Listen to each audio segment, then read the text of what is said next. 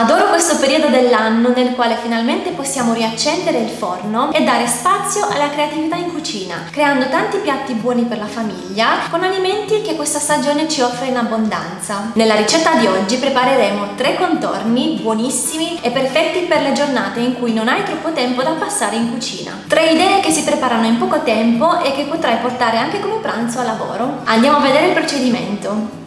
Per realizzare il contorno di zucca e porri ho tagliato a rondelle un porro, dopodiché l'ho aggiunto in una ciotola. Poi ho sbucciato la zucca, l'ho tagliata a cubetti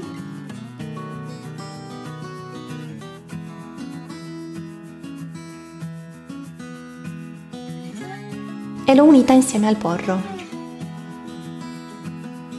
Ho sbucciato anche il sedano rapa l'ho tagliato a cubetti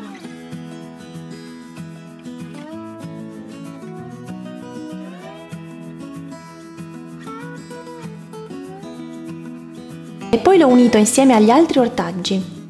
Ho condito con dell'olio d'oliva, del sale, dell'aglio in polvere e del rosmarino. Ho mescolato bene gli ortaggi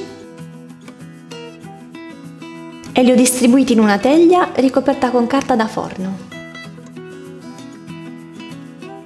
Dopodiché li ho cotti nel forno preriscaldato a 200 gradi per circa 30 minuti.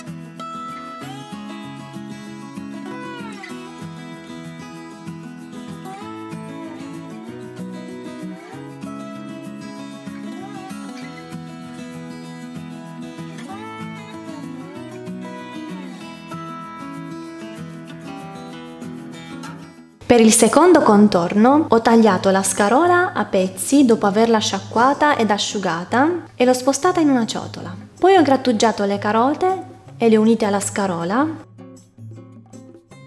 Ho aggiunto anche il tonno dopo averlo sgocciolato. Ho tagliato le mele a fettine dopo aver rimosso il torsolo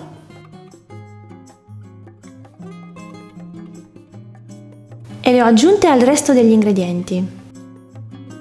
Infine ho aggiunto i semi, puoi utilizzare dei semi a piacere, di girasole, di zucca oppure delle mandorle o noci. Infine ho condito con il succo di limone, dell'olio di vinacciolo e del sale.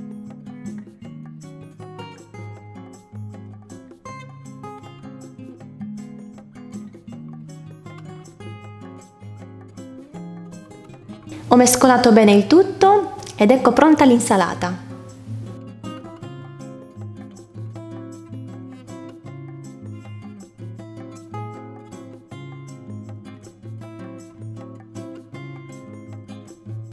Per il contorno di fagiolini e patate dolci ho fatto bollire i fagiolini in acqua abbondante per circa 15 minuti dal bollore.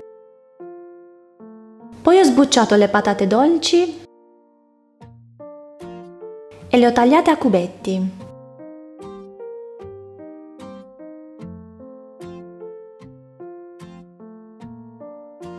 Le ho aggiunte in una ciotola e poi ho tagliato le cipolle a spicchi.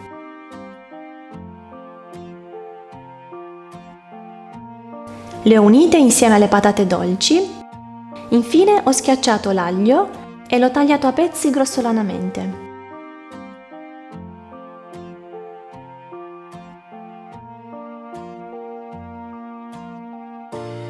Quando i fagiolini hanno cotto, li ho fatti intiepidire e poi li ho tagliati a pezzi.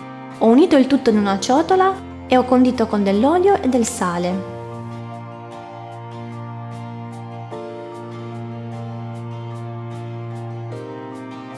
Ho distribuito gli ortaggi in una teglia ricoperta con carta da forno e li ho cotti nel forno preriscaldato a 200 gradi per circa 20-25 minuti.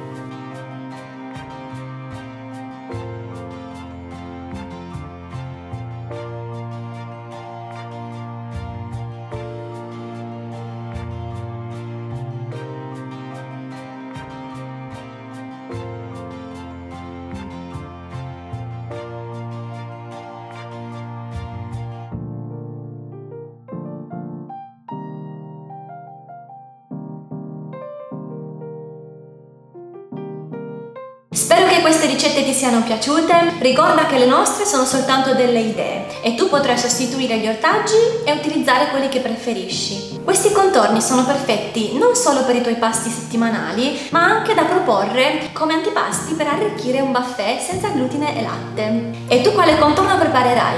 Diccelo qui sotto nei commenti e ricorda di iscriverti al nostro canale, in questo modo non ti perderai le nostre ricette. Per oggi è tutto, ci vediamo nel prossimo video.